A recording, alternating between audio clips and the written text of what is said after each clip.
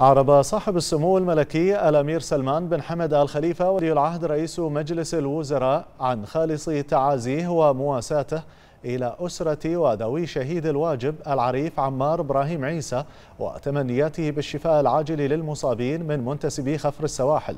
جراء الحادث الذي تعرضوا له أثناء تأديتهم الواجب لإيقاف قارب مخالف لفترة حظر صيد الربيان ووجه سموه كافة الجهات المعنية بسرعة اتخاذ الإجراءات القانونية اللازمة بحق من يثبت تورطه في الحادث. وقال سموه إن مملكة البحرين وعلى مر السنين دفعت ثمنا غاليا من ثرواتها البحرية بسبب التعدي من قبل الخارجين على القانون الذين يستنزفون الخيرات التي وهبها الله عز وجل بطرق صيد جائرة مخالفة للقوانين والأنظمة وباستغلال لعمالة غير مرخصة.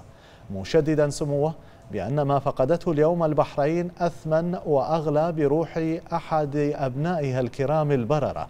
وأضاف سموه بأن المشتركين في هذا الجرم والعمل الشائن ليسوا فقط من يستغل العمالة ويستأجرون السفن أو يتبعون طرق صيد غير قانونية. وإنما حتى من يقبلون شراء السلع مثل الربيان وغيره في فترات الحظر ومنع الصيد التي وضعت للحفاظ على البيئة والثروات البحرية الطبيعية.